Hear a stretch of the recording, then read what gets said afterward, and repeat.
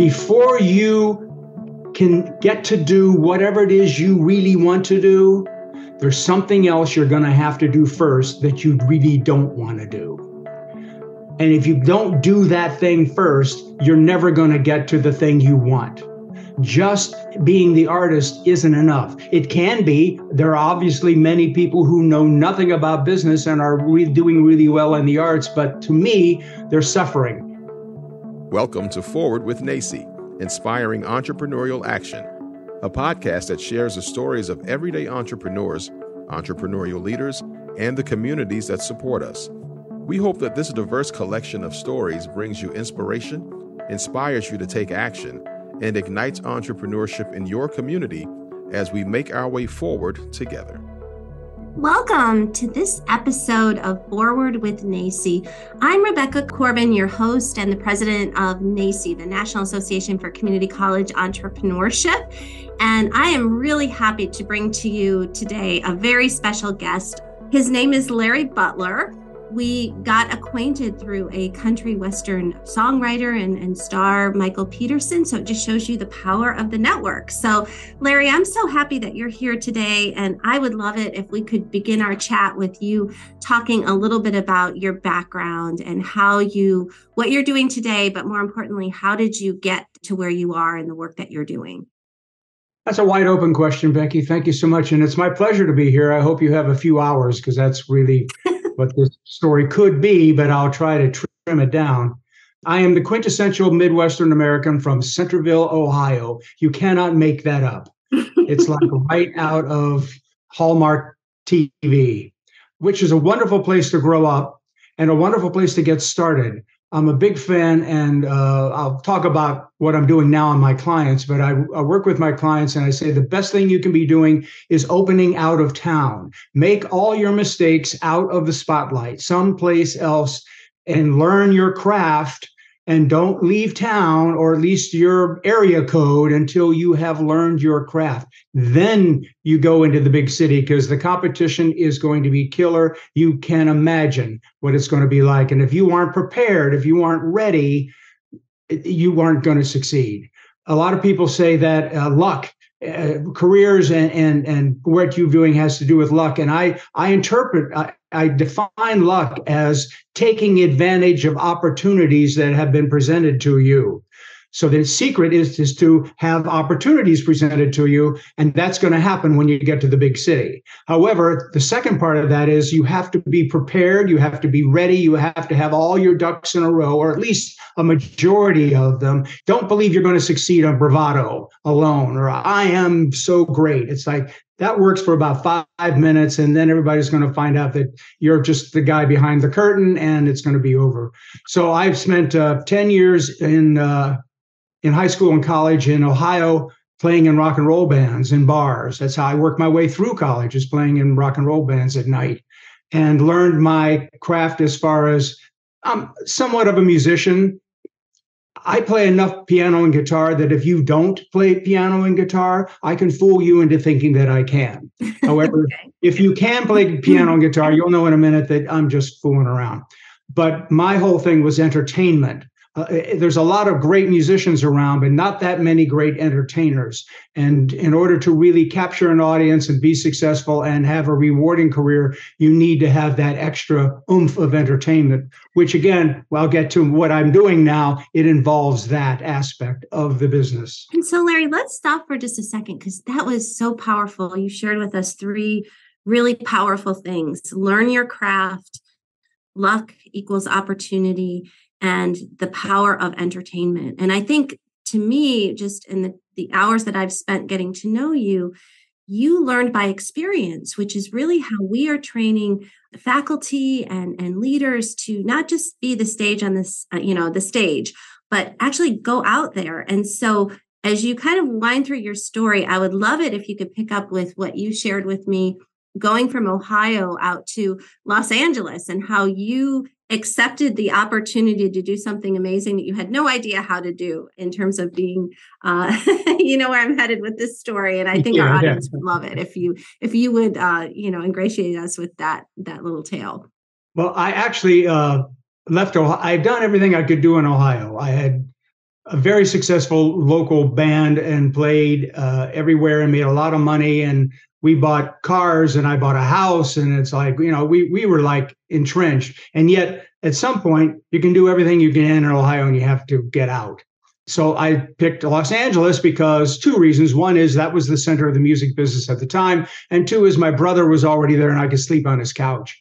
So uh, I moved to Los Angeles, slept on his couch, started looking around, and discovered that as much as of a musician entertainer I thought I was, there was way better people in Los Angeles already doing that. So at least armed with that background, having been the band leader more than the entertainer of the stage, I was I any band I was in, I took over and made it into a business made it so we were on salary and we had money in the bank and people got paid and we issued uh, 1099s. I mean, it was a business and we owned equipment and we paid our taxes and things like that. And that was a, a, kind of an early entrepreneurial effort on my part but i had learned that if you're just kind of being in a rock and roll band and and you, you, don't care how much money you're making or if you do make it you spend it it's like no no no that's not that's not the way we're going to do this. We're going to make we're going to make we took vacations. We had paid vacations for ourselves because we had saved money because that's the way i ran the operation. So when i got to los angeles i was looking uh, trying to find a gig and I looked up some friends of mine from a band at the time who had a hit record called Pure Prairie League. They were from mm-hmm. Cincinnati. And uh, they were having a, a record release party. And I went to the party and they introduced me to their manager. I told him a little bit about my background, and he said, uh, Have you ever been a tour manager? Now, this is where I took advantage of an opportunity. No, come on. I'd never been a tour manager. I've been running local bands in Ohio. However, had I said no, I wouldn't be here today. So I paused and said, Well, yes, of course. Uh, what do you have, what do you have in mind?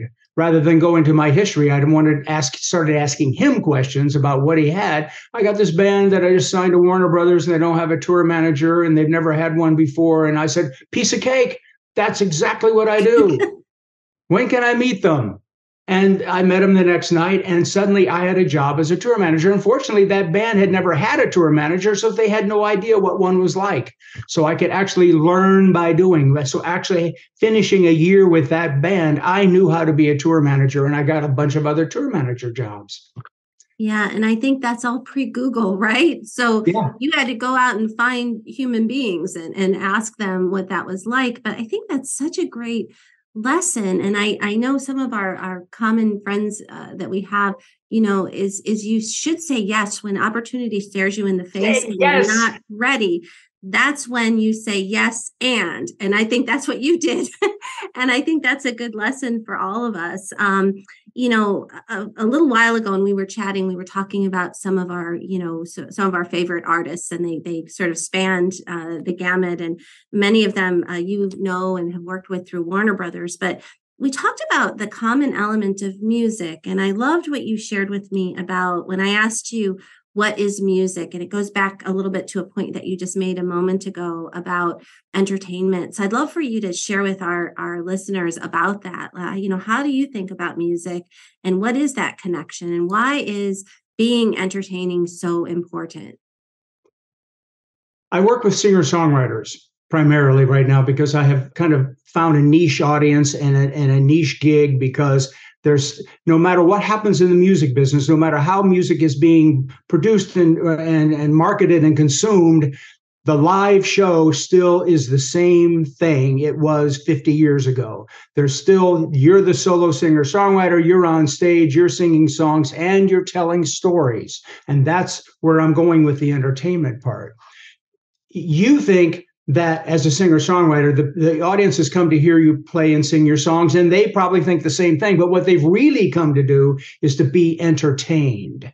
And songs, in and of themselves, are not entertaining, particularly if you're an unknown artist. So you need to tell stories, you need to connect with the audience through some emotional thing. You need to set the story up, the song up with some kind of connection to something emotional that the audience is going to identify with.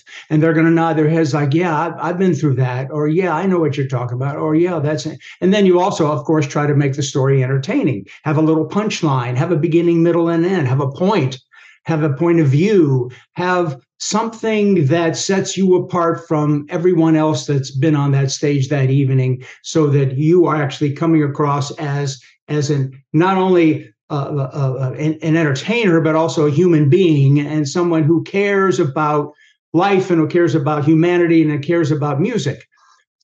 Without the songs you've lost uh, your vehicle. You need the songs. But the songs to me are a vehicle toward entertaining an audience. And there's more there's a bigger package than just the songs.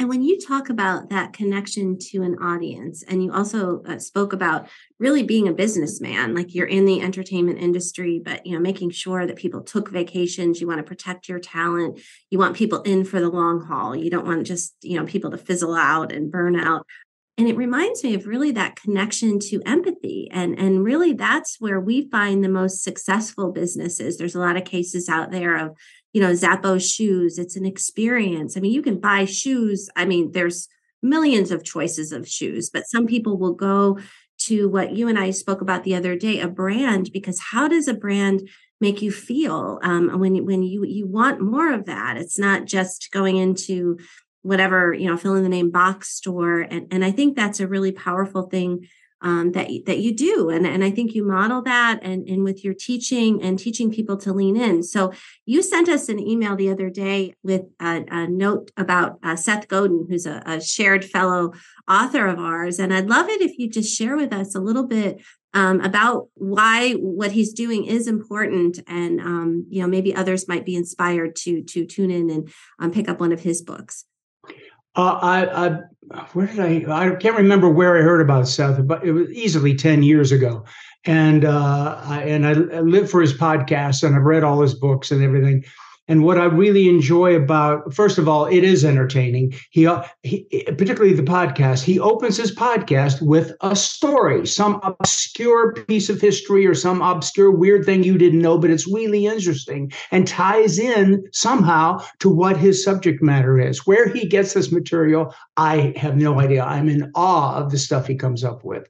But the crux of it it, starting with entertainment is the fact he gets into a in every podcast and in every book, he gets into a factual thing he's trying to put across that is somewhat askew from what's being taught elsewhere.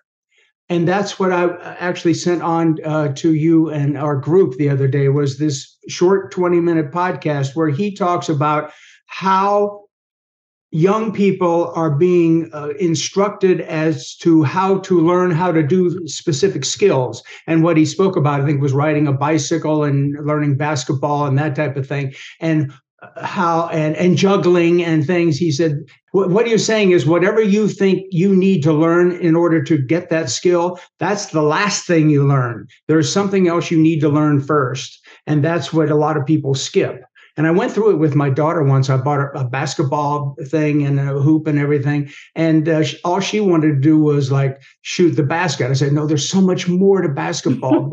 Before you shoot that bat, you got to learn how to handle that ball. You got to learn how to dribble. And she was so irritated because it was no fun. But that's what singer songwriters about. Before you can entertain an audience, you first have to learn how to sing and play at the same time with some with some clarity, with some skill and that is long and boring and everything else. But getting and back it's to practice, practice, practice, right? It's like you know you have to do the 10,000 hours um, of that. One other, um, and I'm sure you've read this book too, you know, by Seth Godin is The Purple Cow. And I love that analogy because, you know, everyone should drink milk or, you know, I guess unless you're a vegan or whatever, but um, but the purple cow idea is is different because you know you have milk is a you know is is out there but how do you make what you do special? And you know one of the things larry that i'm really excited about in terms of the future you and i are going to be together in nashville in a couple weeks so i'm really really really excited about that.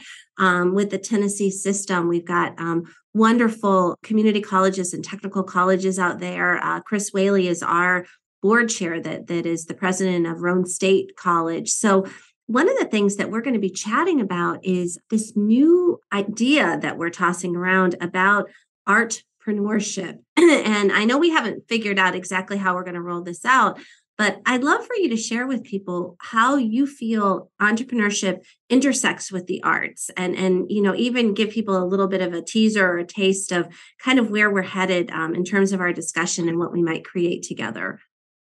Well, here's a here's a shameless plug. Here's a copy of my book, the new singer songwriter rule book 101 things you need to know before you even think about becoming a singer songwriter. Awesome. Fully half of this book has nothing to do with music or, or performance. It has to do with the business of how you need to set up your operation. Just being the artist isn't enough. It can be. There are obviously many people who know nothing about business and are re- doing really well in the arts, but to me, they're suffering and they're probably going to end up suing whoever it is is handling their money before the end of their careers because they're not paying attention and i need that to happen. And it's not rocket science.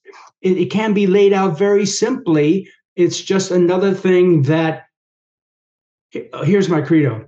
Before you can get to do whatever it is you really want to do there's something else you're going to have to do first that you really don't want to do and if you don't do that thing first, you're never going to get to the thing you want. And the thing you have to do first, as you just mentioned, is the 10,000 hours of practice. And I'm interjecting the fact that part of that is learning the business of music and the business of arts. And that's, that needs to be at least be aware of it. Someone else could eventually take care of it, but you need to be aware and you need to be conversant in it. It's just jargon. You just need you need to know what those three letters stand for, you know, so that you won't be taken advantage of. And that is my goal with everybody that I work with is not see to it that they don't get taken advantage of. Yeah, and I I think that's so important. And I think also discipline. Like you're a very disciplined person. That's been my experience of you. We had a call yesterday, which is a little volunteer project we're working on. But boy, you had something that came in where you had one of your paying customers. And I think being a good business person says, okay, I have to attend to that first. And then I will come back. And, and I think that's living a very intentional life. And, and I think one of the things when I think about um, music and i think about the wonderful even country music songs it's it's a journey right? It's not just all smooth sailing and everything works out perfectly. You know country songs your dog runs away right? You know your wife leaves you and then you know but at the end if you really lean in and you're really committed to to this you know you can make a wonderful life about that. Um, i know we've discussed this before but in the United States, there's somewhere between seven and eight million um, community college students, which um, our average age is about 28 years old. So they're not necessarily young kids coming out of college, but really the spirit that I love about community college is open access and you know all comers if you never finished high school you can go to the community college you can get your ged you can pursue a career if you already have a bachelor's degree a law degree but you're interested in entrepreneurship you can come to the community college. So, Larry, I'm really excited about what we're going to create. We're going to create something that didn't exist together. Um, just you mentioning your book, um, we are actually redesigning the NACCE store. So, we're going to make sure we get your book in our store and um, perhaps create some some new things so people can get in touch with you. But just two things. If you could just let people know if they want to find you how do they find larry butler? If they want to um, you know either you know purchase your book or contact you about uh, lessons or development. And then maybe leave us with a final thought uh, for the day as people are are listening to this podcast. The best way to get in touch with me is through my uh, website which is larry hyphen dash butler, whatever you want to call that little mark in between, uh, uh, at, uh, uh at www.larrybutler.com with a, with a hyphen in between. Uh, I can also be reached at my email, which is Larry at did it music, which is three words all bunched together D I D I T M U S I C, did it music.com. So it's pretty easy to find me. Uh, if there were a phone book, I'd be in it and uh, and I'm in Nashville, so I'm on Central Time. Keep that in mind. I'm learning Central Time after you know a lifetime of Eastern and Pacific. I'm learning how one deals with Central Time. It's actually pretty convenient. Uh, the uh, thing I want to leave you with, which I believe, uh, uh, you know, I, I've got a whole laundry list of little witticisms, but this one is very pertinent.